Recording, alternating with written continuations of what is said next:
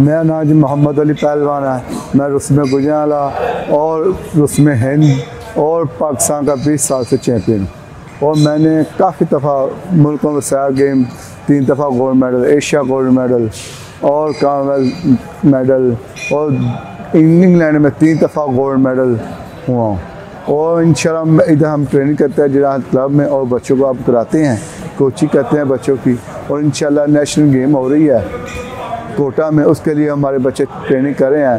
انشاءاللہ ہماری کوشش ہے کہ ہمارے زیادہ سے زیادہ بچے نیشنل گیم کوٹا میں گولڈ میڈل لے کے آئیں۔ اور گجرانا کا نام بھی روشن کریں۔ اور پاکستان جو انٹرنیشنل مقابلے ہوتے ہیں، ادھر بھی جا کے گولڈ میڈل لے کے آئیں۔ ادھر بھی پاکستان کا نام روشن کریں۔ یہ پہلوانی بہت اچھی گیم ہے۔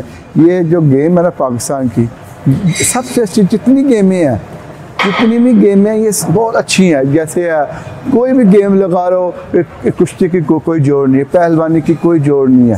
یہ کیونکہ یہ بڑی دے دنیا، جب سے دنیا بنی ہے، یہ کشتی ہوتی آئی ہے۔ جیسے میں کہتا ہوں، جنگلوں میں درخت تو بہت ہوتے ہیں۔ جنگلوں میں درخت تو بہت ہوتے ہیں، لیکن سندل جیسے نہیں، کیونکہ سندل نیا بوٹا ہے۔ تو بہت اعلیٰ کوالٹی ہے سندل کی۔ ایسے ہی دنیا میں کھیل تو بہت ہیں، لیکن پہلوانی جیسے نہیں۔ یہ پہلوانی بڑی نیاب چیز ہے۔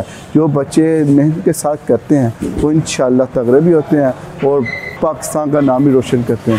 ہم، ہماری جو ٹریننگ ہے، ہماری صبح بھی ٹریننگ ہوتی ہے نو سے بارہ بجے تک۔ اور شام کو پانچ سے آٹھ بجے تک ٹریننگ ہوتی ہے اور مٹی کی بھی ٹریننگ ہوتی ہے جیسے ہمارے ابھی ہمارے گجرانا میں، ہمارے کلب میں جانی پہلوان رسم پاکستان ہوا ہے۔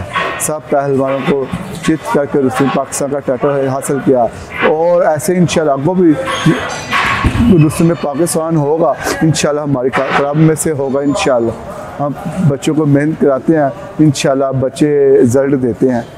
ہمارے کلب میں ماشاءاللہ پچھلی نیشنل گیم میں جو ہوئی تھی لاہور میں ادھر میں سات بیٹوں میں مقابلہ ہوا تھا۔ اور ساتوں ساتوں ہماری کلب میں گولڈ میڈل جیتے۔ اور انشاءاللہ ابھی جو کوٹا میں مقابلہ ہو رہا ہے، انشاءاللہ ہماری کوشش ہے کہ ہمارے دس ویٹوں میں مقابلہ ہے۔ ہماری کوشش ہے کہ دس ویٹوں میں ہمارے گجرا کے، ہمارے جناحت کلب کے گولڈ میڈل آئیں۔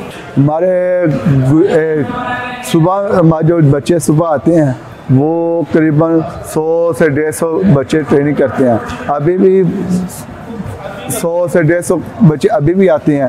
ابھی جو جو بچے آتے ہیں چھوٹے، یہ اسکول، کالج سے فری ہو کر ابھی آتا ہے جو صبح ٹریننگ ہوتی ہے وہ بڑے بچوں کی ہوتی ہے ٹریننگ۔ وہ صبح کے ٹائم کرتے ہیں اور بچے اس ٹائم کرتے ہیں۔